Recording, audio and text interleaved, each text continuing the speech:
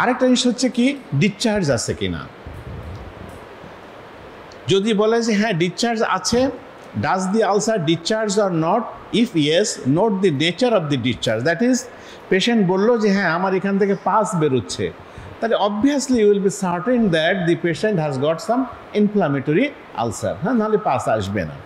আবার হতে পারে কি, যে ব্লাড আসতে পারে, অথবা ব্লাডই অথবা সিরাজ ডিসচার্জ হতে পারে। তাহলে ডিসচার্জ আছে কি নাই উন থেকে আলসার থেকে it is important to us আরেকটা জিনিস জানতে হবে কি অ্যাসোসিয়েটেড কোনো ডিজিজ আছে কি না দ্যাট ইজ পেশেন্ট যদি বলে যে হ্যাঁ I have I have been suffering from tuberculosis ধরো সে পালমোরি টিউবারকুলোসিস আছে। কি টিবি লিম্পেডিনাইটিস আছে, কি সিপিলিটিক ইনফ্লামেশন তার বডিতে আছে, তারপরে সেখানটা আলসার হয়েছে। তাহলে অবভিয়াসলি আমরা ধরতে পারি যে এই ডিজিজগুলোর সাথে এই আলসারটার কোনো না কোনোভাবে একটা সংযোগ বা সম্পর্ক আছে। তাহলে এবার হয়ে গেল কি আমাদের হিস্ট্রিটা কিন্তু হয়ে গেল ওকে হিস্ট্রির পরে কি করতে হবে? ফিজিক্যাল এক্সামিনেশান আমরা যখনই কোনো ডিজিজকে বা পেশেন্ট আসলে আমরা ডায়াগনোসিস করতে যাই first of all we have to মানে hear the history then we we have to perform physical examination and physical examination varies according to the disease process তাহলে এই ফিজিক্যাল এক্সামিনেশনের ভিতরে তিনটা পার্ট এখানে তোমাকে মনে রাখতে হবে। One thing is general examination another one is local examination and last one is systemic examination okay now general এক্সামিনেশনের ভিতরে আছে কি? ইউজুয়ালি এটা নর্মাল থাকবে। একটা পায়ে একটা আলসার নিয়ে একটা পেশেন্ট এসছে তুমি তার যতই জেনারেল এক্সামিনেশন করলে সাধারণত তুমি খারাপ কিছু পাবে না সো এই জন্যই আমি বলছি যে general examination usually will get normal findings but you have to do it পেশেন্টের ব্লাড প্রেশার দেখতে হবে পালস দেখতে হবে এনিমি আছে কিনা সাইনোসিস আছে কিনা ক্লাবিং কলোনি কি আছে কিনা, এগুলো তো সবই আমাদেরকে দেখতে হবে as a part of routine process but you will get the normal findings so next step is local examination. It is the important thing. একটা আলসারে তোমার লোকাল এক্সামিনেশনের ভিতরে তুমি কি পাচ্ছ দেখো? লোকাল এক্সামিনেশন করতে গেলে first of all you have to perform inspection then palpation percussion and auscultation okay তো ইনস্পেকশনে তুমি কি পাচ্ছ?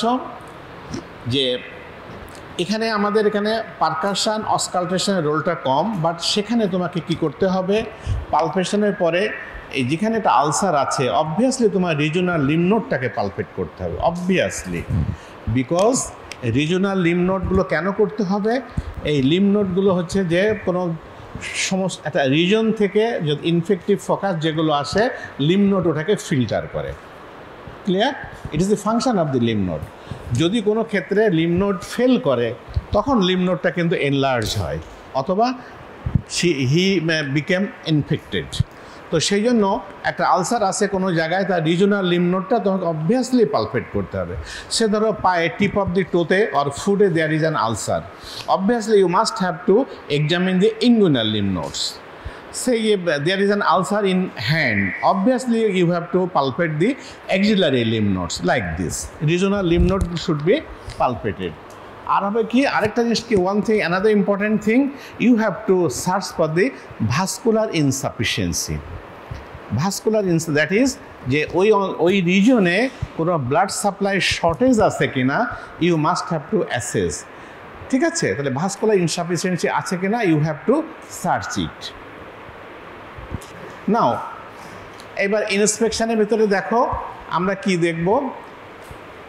সাইড দেখব শেপ দেখব সাইজ দেখব নাম্বার দেখব। তাহলে প্রথমে আমরা দেখছি কি? Site that is the where it is situated site means এটা উত্তর, দক্ষিণ, পূর্ব, পশ্চিম নয়। Where it is situated in the body ঠিক আছে? পেশেন্ট আমাদের কাছে এসেছে। পেশেন্ট বলল যে একটা আলসার আছে, আমাকে দেখতে হবে যে আলসারটা কোন সাইডে আছে।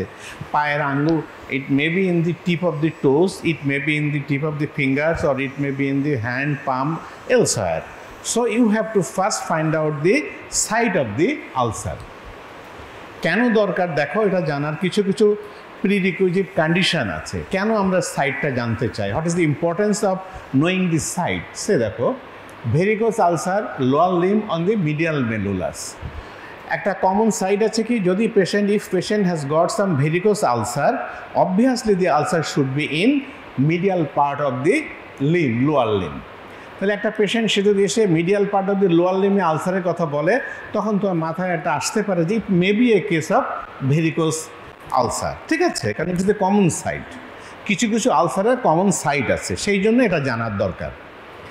রডেন্ড আলসার সে মুখে ফেসে যে পেশেন্ট কমপ্লেন করছে I have got a ulcer in my face তো ফেসে common site for rodent ulcer clear rodent আলসারটা কী জিনিস? নামটা এখন মনে রাখো। I will discuss in later on another chapter but you have to know the name rodent ulcer rodent মানে কি?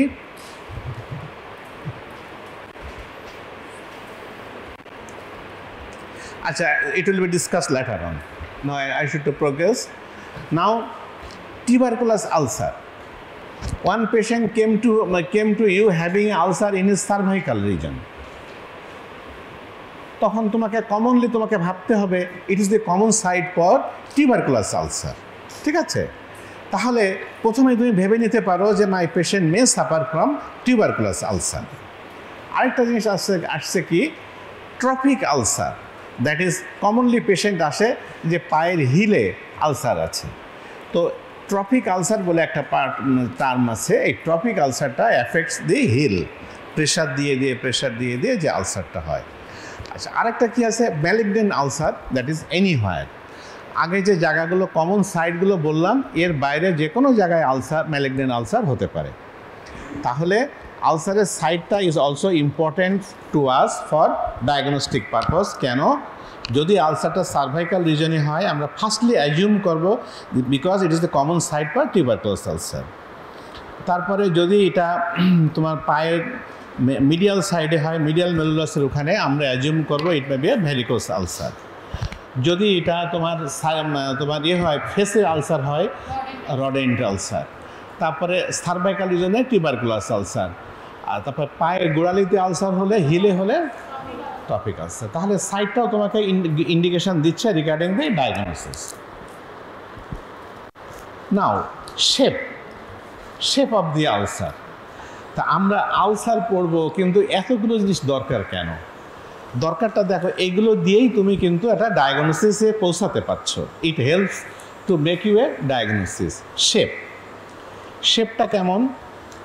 যে কমন যে সমস্ত কিছু ক্রনিক আলসার আছে, এগুলো কিন্তু for the chronic ulcers not for the acute ulcers তুমি এখন একটা ইনজুর্ড ইঞ্জুরি হলে তোমার একটা আলসার সৃষ্টি হলো, এক্ষেত্রে কিন্তু কোনো সাইড শেপ মানবে না। বাট কিছু কিছু ক্রনিক ডিজিজ আছে, যেগুলোর জন্য এগুলো খুবই মানে important say tuberculous ulcer syphilitic ulcer varicose ulcer and malignant ulcer আগে যে কথাগুলো আমরা পড়লাম যে টিউবারকুলাস আলসারটা কেমন? উভাল ইন শেপ তুমি যদি আলসারটাকে দেখো যে উভাল, ডিম্বাকৃতি একটা আলসার আছে, তাহলে তুমি ভাববা যে it may be a case of tuberculous ulcer যদি এটা গোলাকৃতি হয়ে থাকে, যদি সার্কুলার হয়ে থাকে, তাহলে তোমাকে ভাবতে হবে it may be a case of syphilitic ulcer তারপরে আছে কি? যদি এটা ভার্টিক্যালি ওভাল ইন শেপ হয়ে থাকে, তাহলে তোমাকে এটা বলতে হবে, এটা হচ্ছে varicose ulcer R malignant ulcer irregular in shape এটা না ওভাল না সার্কুলার না ভার্টিক্যালি ওভাল একটা ইরেগুলার শেপের একটা আলসার হবে, তাহলে বুঝতে হবে যে এটি যে ম্যালিগনেন্ট আলসার ঠিক আছে? নাও সাইজ শেপ গেল, এবার সাইজ গেল। Size also helps us to make a diagnosis regarding the ulcer may determine the time of healing as per example the smaller the ulcer, the shorter the time it will take to heal. তো দেখলাম যে ছোট্ট একটা ulcer আছে। তাহলে এটা হচ্ছে কি? সাইজ রিগার্ডিং দি সাইজ ছোট আলসার আছে, বড় আলসার আছে। যদি আলসারটা বিগ হয়ে থাকে, বড় হয়ে থাকে, তাহলে তোমাকে obviously you should have to think that it will take more time to heal আর যদি স্মল আলসার হয়ে থাকে, তুমি অ্যাজিউম করবা যে very shortly it will heal ঠিক আছে? নাও আর কি কি দেখতে হবে তোমাকে? একটা আলসারের সারাউন্ডিং স্কিনটা তোমাকে দেখতে হবে। যে আলসার তো আছে বটে, দেখলাম কেমন সাইজ শেপ পজিশন দেখলাম বাট সারাউন্ডিং স্কিনটা কেমন আছে?